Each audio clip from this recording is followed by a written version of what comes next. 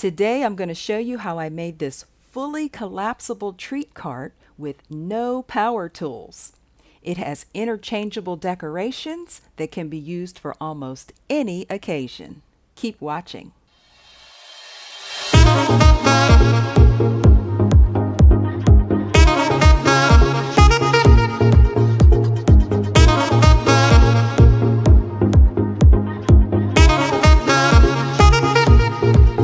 I started with a pre-cut piece of 48 inch long MDF shelf board from the Home Depot.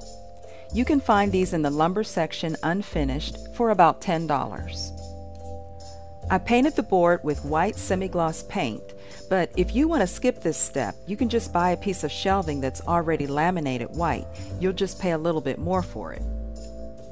In order to attach the balusters, I bought these really small utility hinges. This is part of what's going to make the cart completely collapsible. Then with a basic Phillips head screwdriver, I attach the hinges to the ends of all four balusters.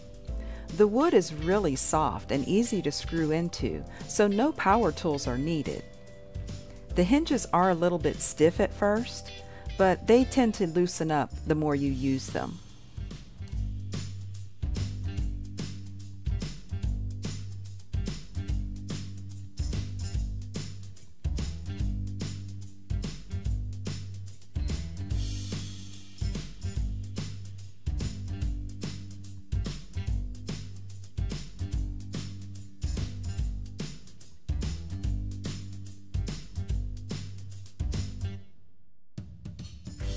Here you see I have one of the balusters fastened to one corner of the board. Now I can demonstrate for you how it completely collapses or folds down.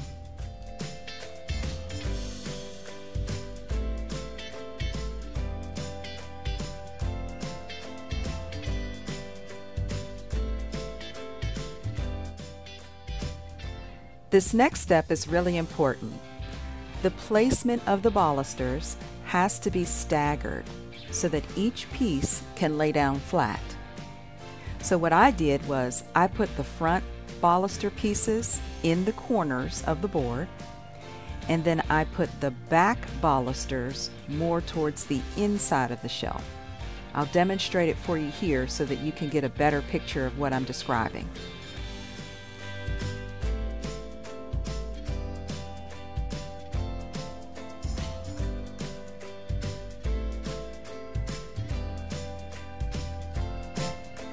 To prevent the balusters from falling over while I'm using the treat table, I got some screw eyes and some cup hooks to put on the ends. I put the cup hook into the baluster and I put the screw eye into the shelf on a little bit of an angle, and it holds very securely. I'm using a basic 48 inch folding table as my base. Now it's time to put it all together. You see how the baluster legs are staggered just like the table legs? Simply unfold the table and then put our board and balusters on top. For the roof of the treat cart, I started with two pieces of foam board and attached them together using some clear packing tape down the center seam. Next, I flipped the boards over. I taped the other side as well down the center seam. Then I took a piece of scrap foam board and tape that going across the seam. That way it would secure it and keep it from folding. I repeated those steps to have a total of four boards attached together. I measured and cut two pieces of ribbon about 20 inches long. This ribbon idea came from another YouTube channel, the Tayra Perez Project. I'll link her video in the description box below. It's a good way to keep the roof in place but it still gives me the flexibility to collapse the roof when I need to. You could simply tie it in a knot like she did, or you could secure it with clear packing tape like you see here. All that's left to do is set it on top of the balusters. It will stay in place. But if you're worried about people seeing underneath your roof, you could cut two triangles and attach them to the sides to cover that up. So this is the basic bare bones of the cart. let's build it up a little bit more. If you're getting some really good ideas from this video, go ahead and smash the like button and subscribe if you haven't already. By the way, I got this wagon wheel from Amazon and spray painted it white.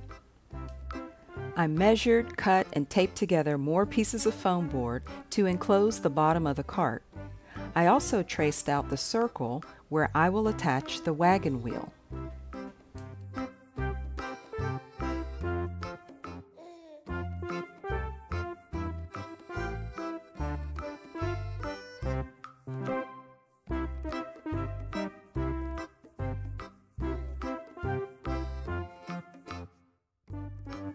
In order to collapse the cart and reuse all of the cutout foam pieces, I'm attaching the foam boards with some heavy-duty adhesive back Velcro.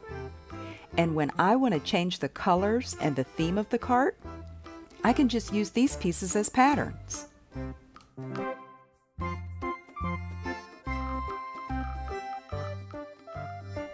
The cart can be used just the way it is in white, but really, the decorating possibilities are endless.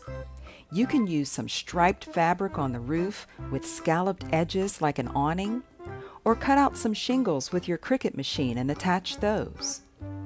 Print out a person's name on the roof of the cart or put their name on the base of the cart.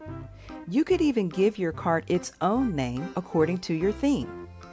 I'm going to have so much fun changing out the way this cart looks and it's easy to collapse it, store it, and transport it.